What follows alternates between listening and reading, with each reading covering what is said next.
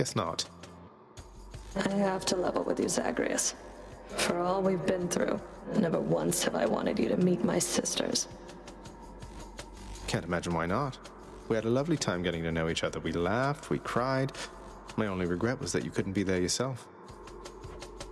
You don't know what you're saying. There's a reason that they're not permitted in the house. Oh, come on. One of us is going back there now.